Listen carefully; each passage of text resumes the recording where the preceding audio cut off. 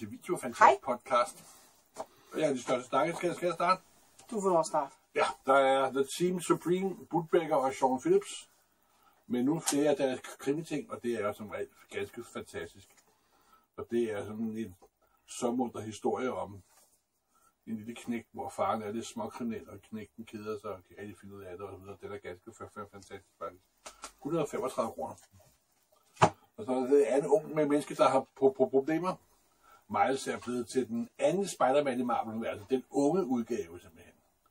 Og det er også 135, 145. 145.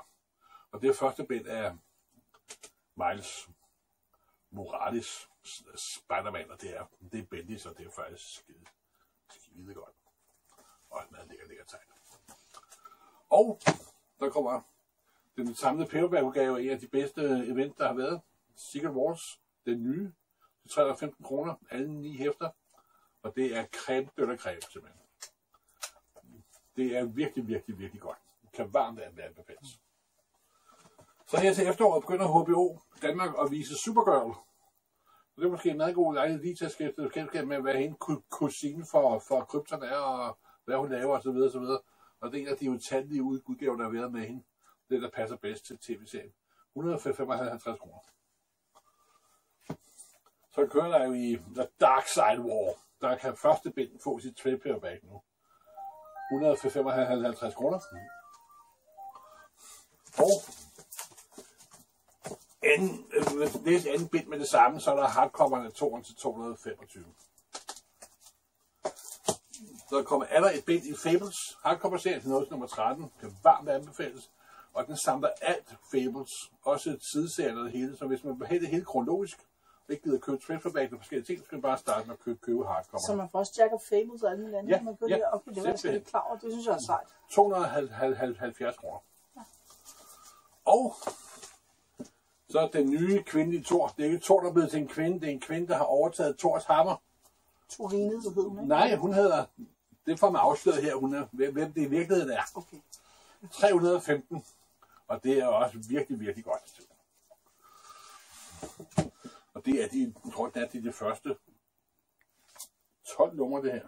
Nej, øh, undskyld. De første 8 plus årshæftet. Kan varmt an- anbefales. Så er der jo kommet noget rigtig gammelt, nostalgisk noget. Er det tredje bind af Styrman Rask? tror, vi er på fjerde. Fjerde bind! Du gode Gud. 199, og der er noget med en hej og en dykker, og der er hvide skibe, og fra 48 til 50, det er jo simpelthen, altså, der er ikke et øje Det tør. har været ret populært, synes jeg. Der har været ret meget godt gang i den. Nostalgi er altid popu- pu- pu- pu- populært. Ja. Så noget, der ikke er nostalgi, dem der har en nostalgisk længst mod død og undergang, så er Apocalypse Girl, eller en enkelt serie, oversat til dansk, 149. Og øh, den er Andrew McLean, som på et eller andet tidspunkt i en ikke alt for fjern fremtid har tænkt sig at sidde og signere hernede. Okay. Jamen, så er jo bare med at få, få den købt og få den signeret. Så er der en såkaldt pantomime-serie. Ægget. Det er kun 69 kroner. Og det handler om en mand, og altså et æg. Et æggehoved måske. Kan man lige, lige frem lige frem at sige. På pantomime-serien, så er der den berømte finske pantomimemester, der har udgivet to bind. Vandretur med Smul, Samuel. Samuel og Simpel. Simpelthen Samuel. Simpelthen Samuel. Simpelthen Samuel. Det er et navn. Samuel. Samuel. Samuel. To bind, 198 stykket. Pantomime i øh, farver. Bum, bum, bum, så man behøver ikke at sidde og oversætte det. Og så er Ex Librix serien, der kører i øh, weekendavisen. Og vi ved jo, at tegnere og forfatteren hader kulturradikaler. Det fremgår klart og tydeligt af det her. Til 149, 40, 40, 40 alt. Så er der også noget gammelt for det nostalgiske. Forlaget Fabel fortsætter med Ege fra 1953, og det er faktisk ret flot. Det er en prins stil, ikke? Nej, Jeg det tænker er på mere sådan, øh, det er mere sådan noget øh, middelalder. Det rigtige middelalder. Ikke den her romantiserede middelalder, som prins Valiant er. Ej, det er stilen, jeg mener. Jo, jo, jo, jo, bestemt, bestemt. Jeg tænker på prins Valiant, når jeg ser den. Det, det, I 50'erne, der må der ikke være bobler i tegneserien, men skulle det være billeder og tekst være adskilt, så kunne de børnene bedre læse, og bliver de ikke ødelagt af de onde pædagogiske, upædagogiske superhelteserier. Og nu er et eksempel på, at det er anden Jumletempels gåde. Nu er eksempel på, at tekst og billede skulle være adskilt dengang. Det var, de var meget øh, blodfærdige dengang, når tekst og billede skulle være ved at være sammen. Og det er fra Anders Jørg Jørgensens forlag til 200 kroner. Hvordan skiftede det egentlig? Altså, hvornår, mener jeg? Det, Hvem- startede med at putte bobler ind? Nå, det, det, var helt, det var helt for, for, det var helt fra starten af. Okay, så det var bare men- dem, der tog sig selv seriøst, de havde den ved Ja, siden af, fordi det eller? må jo ikke være tegneserie, vel? Nej, okay, hvordan? Uha. Og så kommer rosinen i pølseenden. Stevedessen. En ganske vidunderlig serie om, en, om Lone Bak. For dengang mænd brugte, brugte brudcreme og troede, at tandbaks var noget, man spiste simpelthen. Det er guddommeligt, og de har endda bevaret den ultra dårlige farvelige lægning. Det er simpelthen så mor, mor, mor, morsomt det her. Kun 300 kroner stykket. De har fået tegnet af, tegnet der er af, to der er 2, hvor hun oplever alle mulige mærkelige eventyr, som en hver frisk stewardesse med kort hår i starten af 70'erne gjorde. Det har fået tegnet af Robert, af Robert V.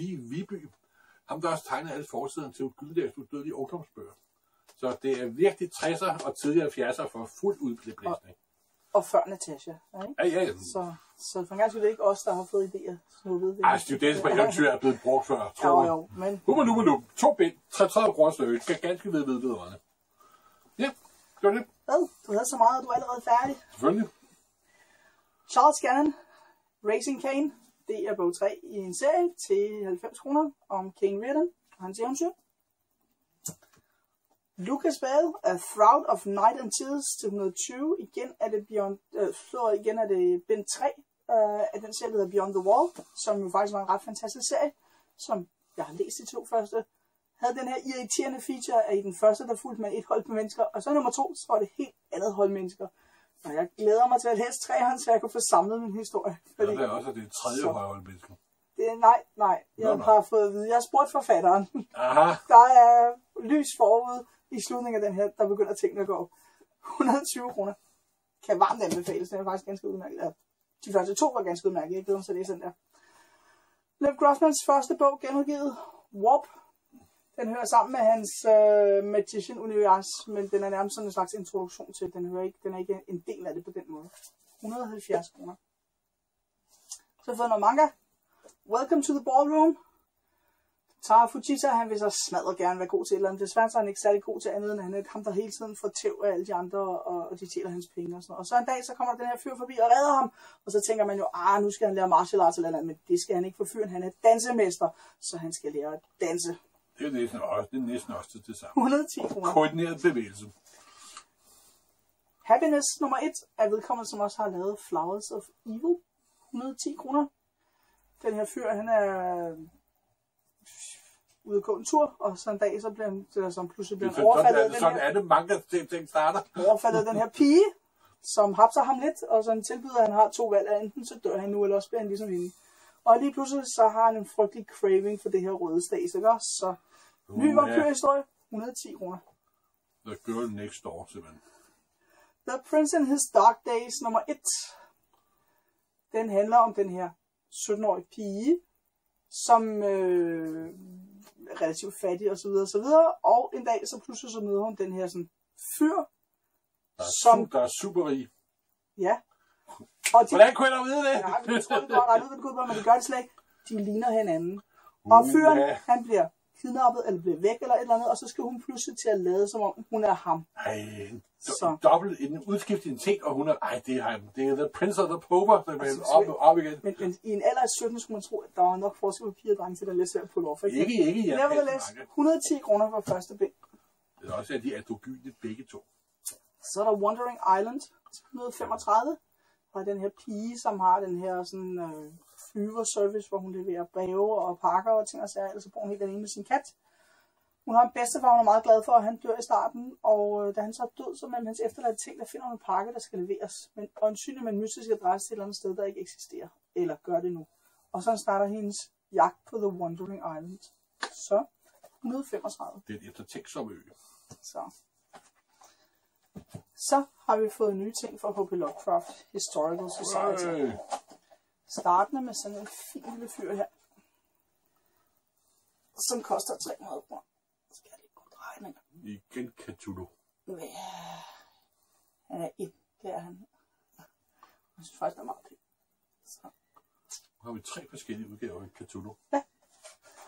Det er jo godt, for vi har snart event med Cthulhu, så, eller, well, Cthulhu inspireret.